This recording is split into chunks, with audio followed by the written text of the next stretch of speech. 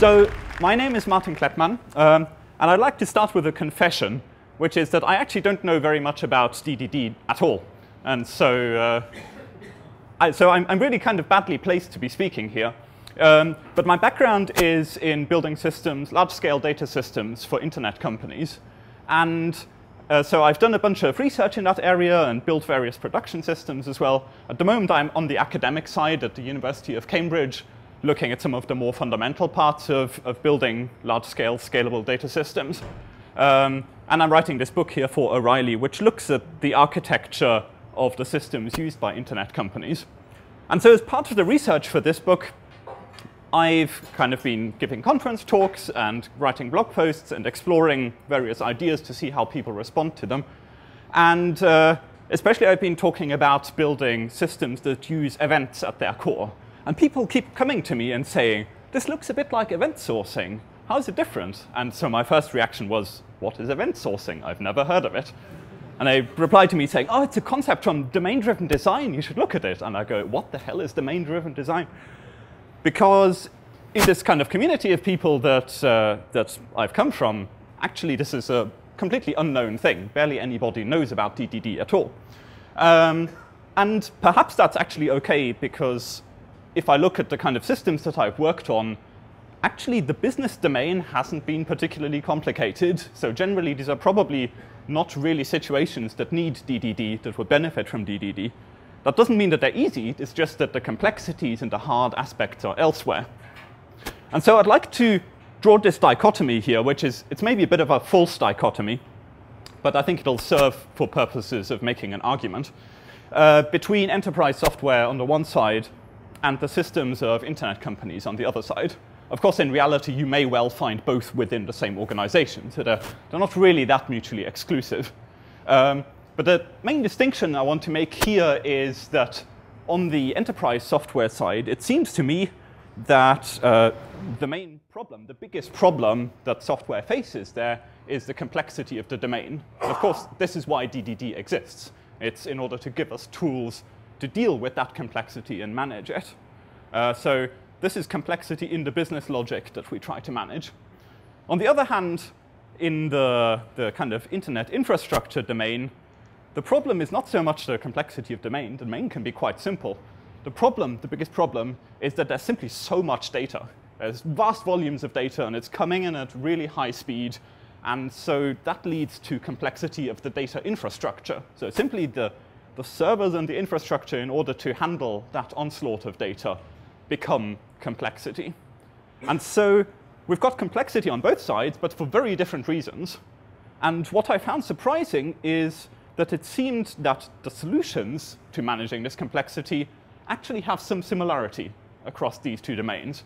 And that's, so that's really the main point I want to make here, that, uh, well, as part of DDD, event sourcing has become like one way of structuring data where we say, OK, we can describe the state of a system not in terms of mutation to some like mutable data store, but in terms of the sequence of changes that led to the current state of the system.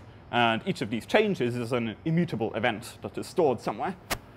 On the other side, on the um, internet company side, this is what I've mostly worked on, is stream processing systems, which also deal with sequences of immutable events. And so what I'd like to do here is first illustrate some examples of stream processing from my experience of the systems that I've worked on, uh, and then we can see some of the parallels, and maybe there's something that we can learn from each other here. Um, because I think it's very good to try and connect different communities. That's why I'm, I'm coming here in the hope that maybe there's some interesting things that I can bring from the internet infrastructure side of things, but likewise, I'd like to learn from DDD and see what I can carry back to the infrastructure side as well. So um, I worked at LinkedIn until about a year and a half ago or so. So I'd like to take an example for, that is actually taken from LinkedIn production systems and the workflow that I worked on. And uh, you can imagine LinkedIn has rather a lot of data, and a lot of it is in the structure of events. And one example event that, of which there is quite a lot is a page view event, or in uh, the kind of past tense verb nomenclature, you might call that user viewed page or such like. So this is a, an event that is generated anytime a user views a page on the website or in the mobile app. And so a typical event looks something like this. It's got a type, it's got a timestamp, like a Unix timestamp. Uh, it's got the ID of the user who, who viewed the page. It's got maybe a session ID, which might have come from a session cookie, which tells you which browser is doing that. It's got a page key or a URL, which tells you which page was viewed. In this case, maybe one user viewed another user's profile. Okay, so in that case, you might want to log also the ID of the profile that was viewed. So now you've got a relationship between two different profiles. And you might log a few other things, like, for example, how did the user get to that page in the first place? Did they click a link in an email? Did they click a push notification? Did they come from the search feature on the website? Whatever. And if you have these events, collecting them is rather useful. You can do many interesting things with it. For example, LinkedIn has this feature called Who Viewed Your Profile, which you might have seen. It uh, gives you this kind of dashboard view of like a summary Google Analytics style of all of the people who viewed your profile in the last few months. it tells you like how many per week have viewed your profile. It gives you some uh, happy smiling faces of some of the people who viewed your profile and various other stats there. So that's one thing you can do. You can also build recommendation systems. This is something that LinkedIn is quite big on, is trying to use machine learning systems to build recommendations that help the people of the site using the site. So one simple feature there, for example, is people who viewed profile X also viewed profile Y. This is called collaborative filtering in the jargon. So if you know all of the data about who viewed which profile, you can start building these kind of features here where if you look at my profile on the side, you get this little box suggesting various other profiles of people who are in some way related to me. And with this event, many more things you can do, right? Okay, so you can train relevance models for search, for example, so that you rank search results in a order that's useful to people.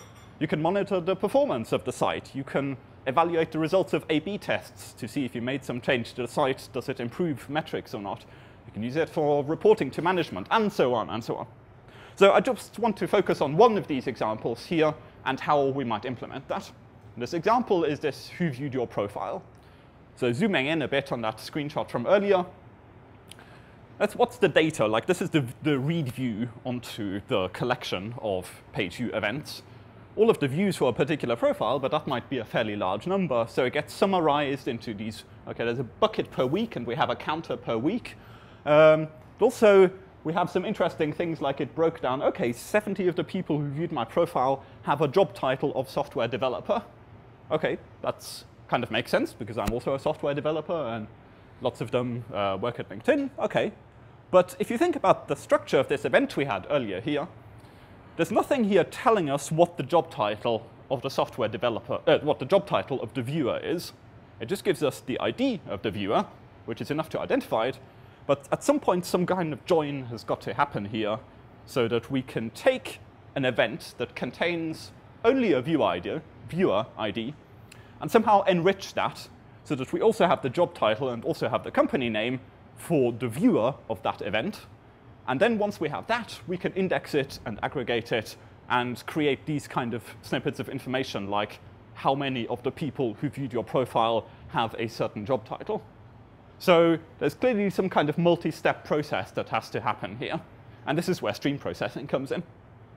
So you could imagine like a simple option might be to log the events with all of this additional denormalized data in the first place, uh, but then these events would get really large. Um, and you'd have to stuff into, into those events all sorts of things that might be needed for some kind of purposes in future. So in general, it seems to be better, and this is what LinkedIn does as well, is just to keep the raw events as clean and simple as possible, and if you need to join with some additional data sets, then do that as a separate step, as an enrichment step. And so with a stream processor, you would do this somehow like this. You have some kind of stream of page view events happening that's live on the site. Every time a user loads some page, some web server emits this event and dumps it on a message queue of some sort. And then you have some kind of job which sits there consuming those events and it somehow has to add the profile information about the viewer to these events. And so, well, the obvious way of doing that is to query a database. So every time you get an event, like with viewer ID 1234, you query that database, can I please have the profile for 1234, and you get it back, and then you emit a composite event where, with that profile data included. And so the way that works, uh, you can think of as a join between the stream of events, the, pro, the, the page view events, and a table of data, uh, the, the, the table of user profiles, where every time for every element in the stream, you do a lookup in that table, and then you generate the output somehow. The problem here is a performance problem, mainly, and that is that these uh, event streams can be quite high volume, and we've built efficient systems for dealing with high volume streams. So the stream processing system that I worked on would handle hundreds of thousands of messages per node, and so distributed across multiple machines, you can get throughput of millions of messages per second. But if you're going to do that kind of query volume to a database, uh, you, your database is not going to be particularly happy in most cases. And so there seems to be like a, at least two orders of magnitude throughput difference between the rate at which we can sensibly query a database and the rate at which these events are coming in. So that's simply a bit too slow. OK, when things are too slow, the standard approach is, OK, we add caching, because caching makes everything faster, doesn't it? And now you have two problems, of course. Uh, you have the cache invalidation problem. Um, and so that's the problem there is that, well, at some point, somebody will update their profile. And so this cache might be stale. And now you say, OK, well, you know, for the purpose of analytics, we don't care too much if the, if the profile is a little bit stale. So, you know, what do you do here? Do you have some kind of invalidation time, like maybe keep an expiry of one day in that cache, so that way the data won't be more stale than one day. But it's really difficult trade-off because if you make that expiration time too short, then OK, you've got up-to-date profiles, but the cache isn't giving you much benefit because most of the requests to the cache will be misses. Uh, but if you make the expiration too long, then you've got really stale data. OK, and there's actually a more insidious problem there as well, despite just the staleness of the data. And that problem is illustrated in this graph. It might be a bit hard to see from the back, I'm afraid, but I'll just explain it. So this is a uh, graph over the course of 12 hours on the x-axis um, of queries per second to one of LinkedIn's production database clusters. And you can see that this is kind of daytime, so during this time it's about 67,000 requests per second. And it's fairly stable there, and then evening comes, and towards the evening it kind of goes down. And then at about 5.30 p.m., the throughput suddenly drops to almost zero. And it stays at almost zero for about half an hour. And then after half an hour, there's a huge spike. And the number of queries per second spikes up to about 24,000 per second. So that's like three or four times the normal daytime peak traffic, which is kind of not that nice to the database. So what has happened here? What happened here was that, well, we had a stream processing job, which was taking in these page view events. And that stream processing job got shut down for half an hour because you know it's not a particularly critical job. It's just generating some analytics which don't need to be super up to date. And so it's OK for it to be down for half an hour. Then after half an hour, after the maintenance is over, it's restarted again. And now this job wants to catch up on all of the events that it missed while it was shut down. And so it churns through that whole backlog as fast as it can. And we've built these systems to be quite efficient, so it can churn, churn through all of these backlog of events pretty quickly. But as a result, it's hammering this database really hard. And now some completely unrelated part of the system, which is also happens to be talking to this database, suddenly goes really slow. And suddenly we've impacted users um, by doing some what we thought was routine maintenance somewhere in the back end. So this is pretty bad news. So what we want to do is build these kind of stream table joins, but we want to do so in a way that uh, doesn't make us cause lots of operational problems. And so I was talking a bit about this cache and the cache invalidation earlier. And well, rather than having just an expiry time on the cache, we say, OK, we could have a, some kind of active invalidation policy. That is, most of the time, people don't update their LinkedIn profile that often. You know, like you might update it every few months at most, maybe every few years. And so uh, in this case, actually, we can just afford to take the changes, and whenever a change to a profile happens, then we update the cache and otherwise we just leave it there in the cache long term. So somehow we need some kind of mechanism for detecting changes to people's profiles. So we need some kind of stream of profile changes. We could call that, say, a profile change event or a profile edit event. And this, this is probably like horrendous for, from you from a DDD point of view. But like this is just as a first draft, how you might structure that kind of event is, OK, you could say that at some point somebody changed their profile and their old location was London, their new location is Brussels, and they changed their industry as well. Um, you could imagine maybe this should be two separate events, like a chain location changed event and a industry changed event also. But the principle remains that somehow we've captured this change to the profile in an immutable event which we can stick on a stream. And now, if you've got this stream of events, these profile edit events, we can now feed that into a stream processor as well. I've just labeled this Samza here at the moment because that's the name of the particular system that I happen to work on. Um, but really, any stream processor will do this here. So you take this stream of events every time somebody updates their profile, and you write that to either invalidate your entry in the cache, or actually, you know, we might as well just call that a database, because at this point, we're kind of keeping a copy of the profiles database locally for, for this stream processing job. Because this database now doesn't need to be shared with anybody else anymore.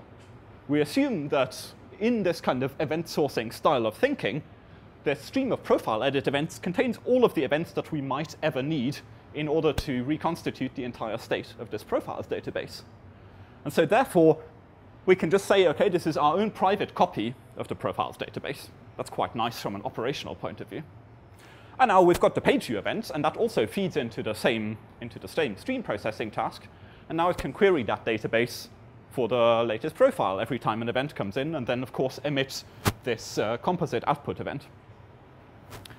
So it looks not too different from what we had, except the big difference is now that this profiles database is not somewhere shared with various other systems, but it's our own private copy of the database, which means we can actually stick it inside the stream processor.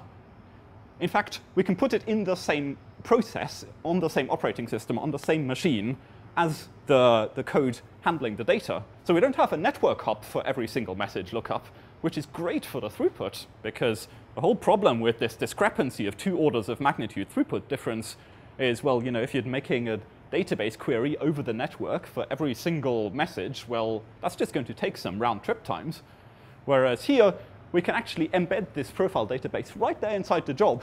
Um, and, you know, with that, this problem goes away. Because now, although uh, we still have this issue that the throughput goes down for a while and then spikes up, but the database that we're hammering is just local on the stream processing machines, so it's not affecting any of the rest of the system at all. So from an operational point of view, this is great. So this is kind of a way how we handle this sort of pattern of uh, a join of a uh, stream with table-like data, except the table is also expressed in the form of a stream of events, because that is what allows us to do this updating of the table whenever something changes. OK, so let's make this a bit more concrete. Um, I'll talk about one particular open source project that I've been involved with called Apache Kafka. So this was originally developed at LinkedIn for exactly this kind of purpose of um, aggregating logs and processing events. Um, it's now an open source project that the Apache Software Foundation is fairly widely used. And principle it's built on is actually astonishingly simple. It's, it's actually very much like log files. In your typical application server, you know, it'll output these plain text files which uh, contain the log messages of, that were emitted somewhere within the code. And these files are append-only files which consist of records. Every record is like a line in the log, so the record separator is the new line character. And they contain whatever information this thing happens to want to log. Like in a typical web server log, it might be some, some details like this. And you've just got this ordered sequence of records. And the way Kafka was intended to be used, the way it was initially designed, was actually very much for just taking log files across a whole fleet of different servers and bringing them together so that you can then feed them into analytic systems and for the recommendation systems that we talked about earlier, but also for operational purposes like tracking down where the errors are happening and such like. And so, you know, on the whole, this is, this is kind of a fairly mundane but useful operational task to do. Uh, and the main thing that Kafka does is it does this kind of uh, aggregation of log files at a rather large scale. So the, the scale we're talking about here is like over a trillion events per day, uh, which is the, the rate at which LinkedIn is currently pumping data through Kafka. Um, Netflix is doing almost, a, yeah, almost the same rate of events, and you know, Uber and Twitter and various other companies are similarly using Kafka at fairly large scale. Uh, so this kind of volume you obviously can't pump through a single machine because it's way more than a single network interface will allow you to, to push through it. So of course, this is distributed across multiple machines. Um, what it also does is replicate data across multiple machines so that when you lose one machine, then another one can take over and you don't lose any data in the process. Um, and it tries really quite hard to not lose data. And so this kind of thing starts having sort of database-like characteristics already. So even though it's, it's not really a database, but uh, it stores all of its data on disk, keeps the history of all of these events for quite a long time. And so Kafka in general you know, is not just for these web server, server log events, but really in general streams of events where you know, the event could be anything that happened. It could be uh, like a web server log, an HTTP request literally happened, but uh, it could be kind of product level activity events, which are used for tracking and analytics purposes, like we talked about. It could also be kind of sensor style events where, like, once per minute, you're measuring the CPU utilization of a server, um, or like the temperature of a CPU core or whatever, and just emit that as periodic events. And actually, um, Kafka works pretty well for this style of event too, um, and is actually used for that too. But almost the most interesting one I see is these database change events. And that's where we get kind of closest to the world of event sourcing, actually. And so this is really just another kind of event where, uh, like as we discussed, the, uh, the content of the event is some change that happened to data, which might be expressed in sort of a low-level before and after view, or it might actually be an event sourcing, like a properly designed event describing the change that happened from a business logic point of view. But all of these deal with these streams of events where each event just describes the fact that something happened at some point in time, and that's an immutable fact. And now the way that Kafka works internally is actually rather like the Unix tool tail, if you've used that before. So you can do tail-f on a file, and it'll just follow the file for any things that are appended to the end of the file and print it out on the console whenever something is appended. And this is actually exactly how Kafka works, except it's distributed. It's like a distributed version of tail-f. So rather than having one file, we've actually got several files in parallel, because that allows us to, to partition the whole thing across multiple machines. Um, but each of these is, at least conceptually, an append-only file of records. And so whenever somebody wants to publish a new message to Kafka, to the stream of messages or the stream of events, then it simply gets appended to the end of one of these files. And when, to, when you want to consume the stream of messages, what you have is, is like tail-f. Each consumer has a current position into each of these partitions, and then it just sequentially reads from that position. And so because these messages, these events are totally ordered, we can say that, OK, each, each, each event in a partition has a sequence number, or an offset, as we call it. And the consumer simply points at, uh, at the offset that is the latest message that it has heard of. And then it knows, because it consumes the messages sequentially, all of the messages with a lower offset have already been processed. All of the messages with a higher offset have not yet been processed. So it simply iterates through the messages in a partition in a single-threaded way. Now, it makes it really simple to deal with because it just needs to periodically checkpoint its offset to stable storage somewhere, and that way, even if it crashes, starts up again, it can just resume processing at the point where it last was. However, um, uh, when, when the thing is split across multiple partitions, you have to keep uh, an offset per partition. But the splitting across multiple partitions also helps with scaling, again, because if each individual partition is a single-threaded consumer, you can have different partitions being consumed independently on different threads on different machines. And so that way you still get your parallelization. OK, and now if the type of data we're dealing with is this sort of database change event sourcing like data, then you can imagine each event being taken in and being written to an index. And this is somewhat like uh, when event sourcing talks about taking the events and applying them to an aggregate, which might just be an in-memory object, or it might actually be something that's persisted on disk somewhere. Um, that's what I'm talking about here. So a consumer simply takes the events on a partition, and over time, it just kind of more events get appended at the end, and as they get appended, the consumer takes them and applies them to its local version of this data. So it just kind of keeps moving forward in time there. At this point, it might be actually interesting to contrast Kafka with other types of messaging systems. So you're probably aware of AMQP or JMS style message queues, which seem to kind of serve a similar purpose of you know, getting messages from some producers to some consumers. Um, and on that high level, they are similar, absolutely. The biggest difference with, um, between Kafka and these JMS AMQP style queues is to do with message acknowledgements. And so that is how does the broker or how does the system as a whole know which consumer has successfully processed which message? So that if something crashes, you know which messages you have to replay. And as you're probably aware, the, the model in AMQP and JMS is that every time the broker delivers a message to a consumer, the consumer then has some time to process it, and eventually, once it's successfully processed, it, it'll acknowledge the message back to the broker. And that way, the broker knows, OK, tick, that message was successfully processed. I don't need to keep that message anymore. And occasionally, something fails, like maybe a message was explicitly marked as failed for some reason, it crashed while processing, uh, or like somebody pulled out the power on the machine, in which case it simply times out after a while. And what these message brokers do in this case is, well, of course, we don't want to simply lose messages. We have to make sure that every message is reliably delivered. So a failed message will get redelivered.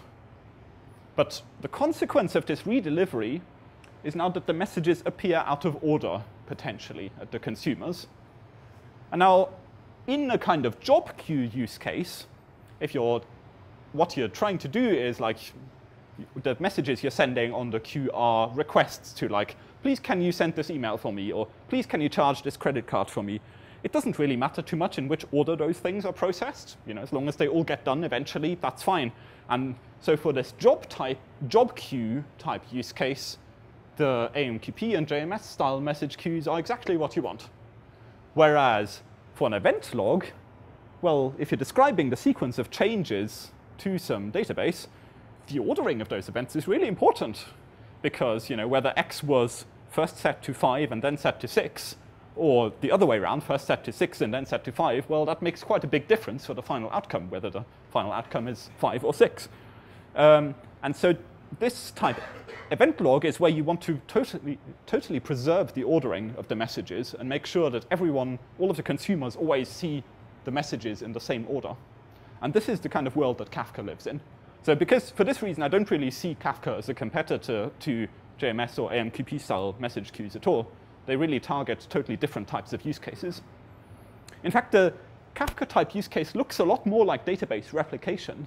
So if you think about the typical master-slave replication, or I prefer, I prefer to call it leaders and followers, or primary, secondary, whatever you want to call it, what they do is they accept all of the writes on the leader database and then replicate this change, change stream uh, through either like a physical write-ahead log that gets shipped over the network uh, or through logical change sets, logical change stream. This gets replicated over to the replicas. And the ordering, of course, of the events there is totally critical because what you want is that after, after all of the messages have been exchanged, all of the replicas are in the same state. That's the, the whole point of replication, is to have the copy of the same data on multiple machines. So this kind of order-preserving message streams look a lot like these kind of databases. Now, there's one very nice thing that uh, event sourcing talks about, which is this complete keeping a complete history of all of the changes that have ever happened. Perhaps you make checkpoints and compact it down from time to time if it's in danger of getting too big, but conceptually, at least, you have this full history. Uh, and what that means is that, of course, you can rebuild the state of something off that complete history of changes whenever you need to. And this is actually used quite effectively in Kafka-esque systems as well. So, for example, we talked about this maintaining an index earlier.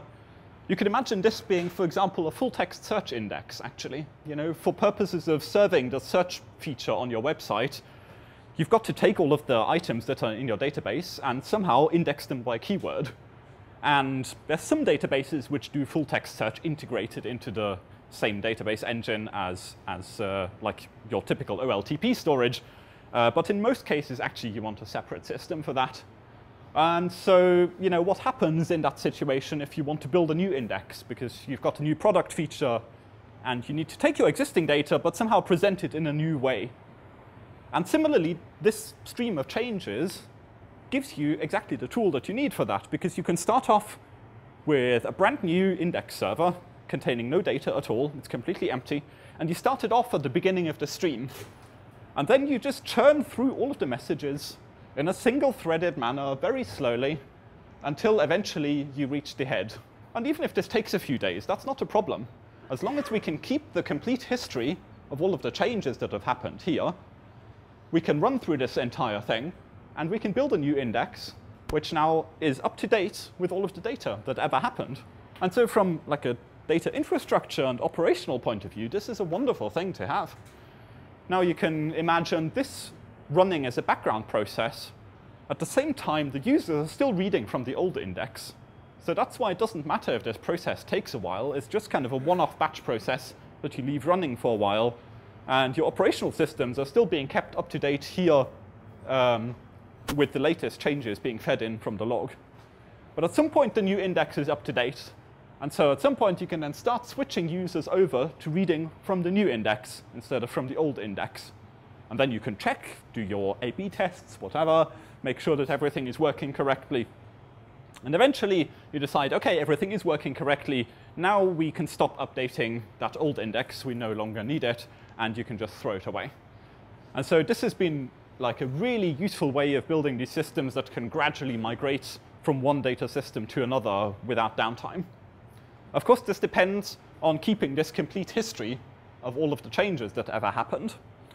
And uh, in, in certain low volume use cases, then it might actually be sufficient to simply keep literally all of the events but in general, there'll be some situations in which that gets too expensive because we simply don't have infinite disk space. And so for that, Kafka has a feature called log compaction, which is kind of its, its only database-like feature, really. So Kafka doesn't have indexes or anything like that. It's really just like log files, streams of events that are stuck, appended onto the end of files. But one thing it can do is if you have a key on events, in, in this case, each event has a key and a value. The key is A, B, or C. The value is a number. Um, Kafka can perform log compaction on this. And what that means is that it guarantees that it will keep at least the most recent message for a given key. If there are several different messages with the same key, then it's allowed to throw away older messages for that particular key.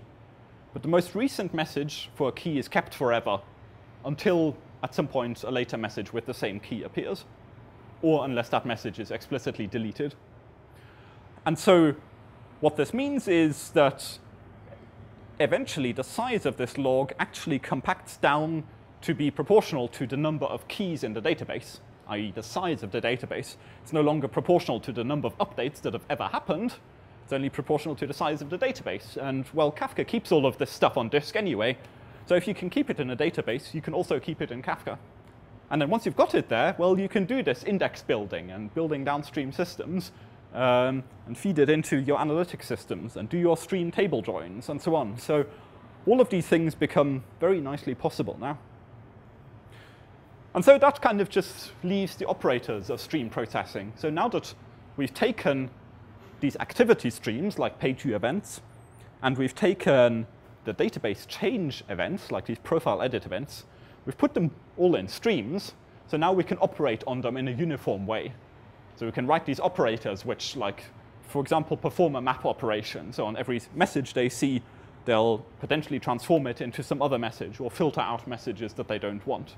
And so you can now start producing these derived streams where, for example, you filter down to only those where x is greater than 10, to give a stupid example, or multiply each by 2, whatever you want. Or uh, you can perform aggregations. Now, this is aggregations in the database sense, not in the DDD aggregate sense, although it's somewhat related, I guess. Uh, like, for example, the number of messages you've seen with a particular key. And, and so what stream processing frameworks like Samza, the one that I worked on, what they do is they give you tools for writing these kind of operators. So they, these streams are provided by Kafka, and the implementation of these operators you can do in a stream processing framework. Of course, we're talking about these high volume streams here, so they also need to be scalable. Um, but the way that is done is simply by input partition. So we've got each partition here, like each individual partition can handle maybe, say, 10 megabytes per second order of magnitude throughput. Um, but you can horizontally scale that by just having as many partitions as, across as many servers as you want. And now each processor will take the, the events that happen on exactly one partition and just process them in a single threaded way. And because each message is quick to process, you know, all you've got to do is increment a counter or write it to an index. You're not like sending emails based on every single message. And so this is feasible to run in a single threaded way. But then the output could be fanned out to many different partitions of the output streams. And so this allows you to do regrouping type things. So if you want to make sure that all of the messages with a certain key appear in the same partition, you can have a job like this which repartitions and effectively routes them to the correct destination, and then a second stage which then actually processes all of the messages with the same key. And this allows us to build these kind of uh, systems quite nicely. If we want to do these joins of several streams, we can do that with these partition streams as well by co-partitioning. So we make sure that all of the page view events for user one appear in partition one of this stream. And we make sure that all of the profile edit events for user one appear in partition one of the profile edit stream. So that means partition one contains all of the data for user one. And similarly, like user 5300 will maybe be in partition 3 or whatever. And now the processing can then simply be partitioned so that, well, partition 1 of this, of the profile edits, and partition 1 of the page views get routed to the same task. And now this task is, again, just a single-threaded process which is going to sit there churning through all of the events, and it sees page views, and it sees profile updates. And so it can maintain its little local copy of the index that index contains now only the profiles for the users within that particular partition. So now we've taken our hundreds of millions of users and broken them down into manageable chunks. But we can still be sure that we'll see all the right events because we've routed all of the events for the same user to the same processing task. And now, this is really the kind of stuff that these stream processing, these distributed stream processing frameworks help with. Um, this little uh, database here in which you can maintain, for example, that index of profiles is provided by an embedded database such as RocksDB, which is this thing that Facebook open source. And, and so it lives actually within the same JVM process as, as, this, uh, as the actual stream processing task. So access to this thing is very fast.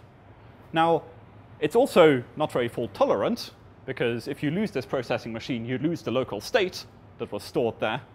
But actually, that's fine, because we designed this whole thing so that we can restore the state of the log of events. And so in the worst case, if you lose the data, well, no problem. You just spin it up on a new machine, process that long history of, um, of events that we logged in Kafka, and thus you can restore the state that you lost here again. And so this is really where I see these interesting parallels, where um, in DDD, using events for the purposes for the purpose of modeling a business domain and really understanding what is going on in a business domain and reducing complexity there. And so that helps us understand the business logic part of the system better.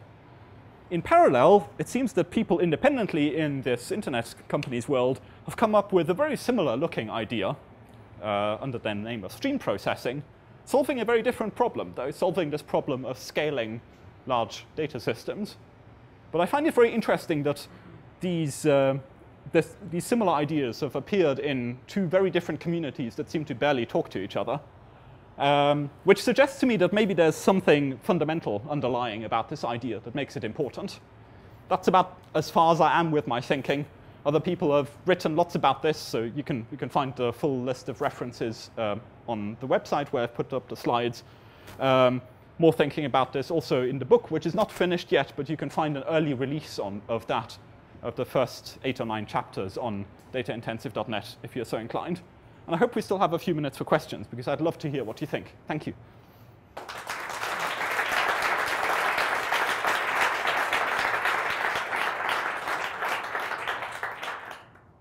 How do we handle the ordering problem when it's co-partitioned? Yes. Yes, uh, good question. Um, so in this case, the, the ordering of events across two different partitions actually is not defined. So there's, there's nothing in Kafka that says this event in this partition happened before or after this event in this other partition. So there's no ordering information there. Uh, so by default, what these things will simply do is asynchronously consume both streams, and you'll end up with some kind of random interleaving. So it's, it's arbitrary at that point. Um, and for these kind of analytics type use cases, uh, whether a profile change happened just before or after a particular page view is normally not particularly important. And so in that case, this non-determinism is actually acceptable. Um, what I have been looking into recently actually is techniques for giving stronger ordering guarantees here. And so you have to be kind of careful there to not destroy the scalability of the system, because if you had to pump all of the events through a single CPU core, then this would grind to a halt. Um, so some of the stuff I'm researching at the moment is actually about providing stronger ordering guarantees across different partitions, um, using effectively a kind of time slicing approach. So you could define uh, slices across all partitions, which saying, okay, all of these correspond to one logical point in time. And then you know that uh, messages before and after that checkpoint have to be ordered correctly across all partitions. And so that gives you a, a certain granularity. You could do these checkpoints once per second, for example, so that, that way it's not a big overhead on the infrastructure, but it still gives you reasonably good granularity of ordering. The question was how reliable is the persistence on Kafka? Um, it's been gradually developing over time. So it was originally design, designed for these kind of web server log aggregation purposes, where you know if you lose 1% of your messages, it's actually not a big deal. And so like the first version of, uh, of Kafka didn't actually have any replication, uh, so every broker was a single point of failure effectively. But what's been interesting is that as um, companies like LinkedIn and others have been developing more operational experience with Kafka and it's become more mature, actually its durability expectations have been gradually increasing as well. And so the state it's at now is that every message gets synchronously replicated across multiple brokers. Uh, you can tune the exact replication factor and how many synchronous acknowledgements it waits for. But you know, that's, in terms of replication strength, that's already uh, on the level of many relational databases replication systems. Um, and some of the stuff I'm looking at the moment is about uh, adding integrity proofs to Kafka so that uh, the system can actually prove cryptographically that all of the data is there and correct. And so it can be continuously audited that way. Um, some other people are also looking into adding transaction support for Kafka, which would allow you to atomically publish messages to several different partitions as one atomic action and get a definite commit or abort on that. And so um, this is still, it's still fairly young technology, so I won't oversell it, definitely. Um, but it's, the trend is definitely that it's been moving towards these more and more like database-like guarantees. And so LinkedIn, for example, has this um, internal document database called Databus, uh, and it's now actually using Kafka for its cross-data center replication. And you know, that's really a situation where you can't afford to lose any messages at all because it's, it's database replication. It has to be totally correct. So it's been gradually moving to those more and more stronger type use cases. Yes, please. Did you experience the stop of the world GC uh, by embedding your database with uh, some other process? Uh, and did you try with external IPC, or uh, stop the world GC problems. So, uh, well, with RocksDB that we're using there, particularly, it uh, uses JNI for off-heap. So um, that the memory use there actually doesn't affect the GC times for the JVM. Um, as a kind of more general point, like yes, sometimes people have problems with pauses with uh, with, with, long GC pauses, which um, is most critical, of course, in online systems, which are serving user traffic, where actually users get error messages if your system is GCing. Um, most of the stream processing things we've been building have been these kind of not quite online systems where the we have maybe some latency expectations of normally get messages through the pipeline within a second. Say, um, occasionally we can tolerate it spiking up to 30 seconds. And so in that case, is, uh, having a GC pause somewhere actually isn't all that critical um, because the, the system has been designed to accept a certain amount of latency anyway. Yes, please. I had a question. So where actually where I'm working, they're considering using Kafka for the business events. And I guess my question is, in that example you gave about people viewing profiles, you're saying don't have all that information, you know, have like maybe a reference to a profile ID that you can look it up. In terms of that augmentation of data, do you use these code things, or can you hook up something like Spark or Pental, which I've heard about, just to the Kafka screens, and then it just can make someone else can make sense of it, maybe like a data scientist or something. Um, so what was the question about embedding the denormalized data in the events or about the joining? Yeah, do you have to write code for these joins or the tools that you can hook up to things like, I, don't, I only know a little bit about them like Pental and Spark, mm. and mm. they do all that kind of work for you in a way? Like, is it, is it Yes, so there's, there's kind of different tools for that people are using and developing there. It's, it's quite a fast-moving area, actually. So um, if you want to do these kind of uh, joins, they're uh, like, I don't know, say this kind of thing. Um, if you implement that as an, as an operator with Samza, the system I talked about, then you actually write code to do that. So it's quite a, quite a manual process. Um, there are efforts to make nicer, higher level tools where you can just somehow say declaratively say, OK, I want to join this stream with this stream on this particular key. And it generates these operators automatically internally. Um, and so Spark is doing some area in that. Samza is actually adding support for SQL, uh, SQL queries, which get compiled down to these kind of operators. Um, so that's, it's, it's a rapidly evolving area. I think over the next few years, we'll probably see a lot more of that. So it's, at the moment, a lot of these tools are quite low level and deliberately so because they're trying to become really operationally robust at the low level before adding fancy, fancy high level features uh, and then gradually moving up to higher levels. Uh, one at the back, please. Yeah, uh, one question. Uh, are, um, so my, my instinct is that uh, things like Kafka are designed to be used in a distributed setup from the start for fault tolerance as much as anything else. So, um, so if you run it on just a single node, I think the, the benefits would be limited. Um, but if you start running it across two or three servers and just not even partitioning the data, but just replicating it, then at least you're taking advantage of that replication already. Um, and at, at, that point, it starts maybe becoming interesting. And actually, um, two or three servers will be enough for many use cases. Like there's some benchmarks pushing, I think, 2 million messages per second through three servers. Uh, and they're not expensive servers, just kind of standard, small rack-mounted ones. So um, at that point, it, I guess it comes down to like, to what degree do you want to be uh, exploratory with technology? Because the, these are totally admittedly, these are still young, fairly immature tools. Um, you can get some interesting benefits from them, but it, it, won't be as smooth riding as just using a standard relational database, say.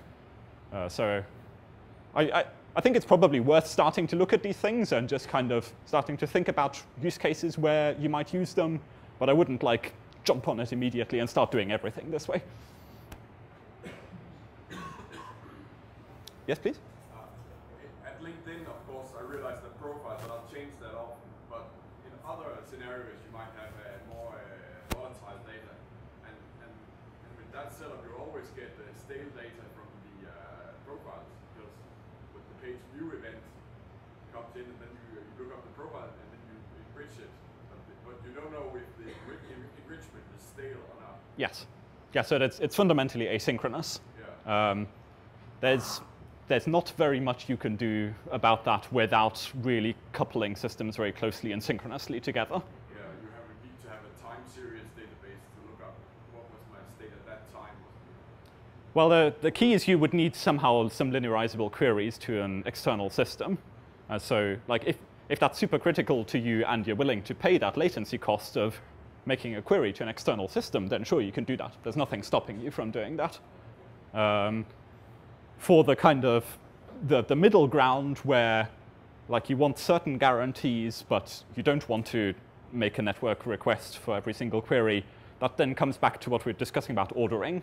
So there, if you can then enforce some message ordering across different partitions, then you could say, okay, this particular point in time, uh, we know that the um, say the, the page view event happened before the profile edit event, or it happened after the profile edit event.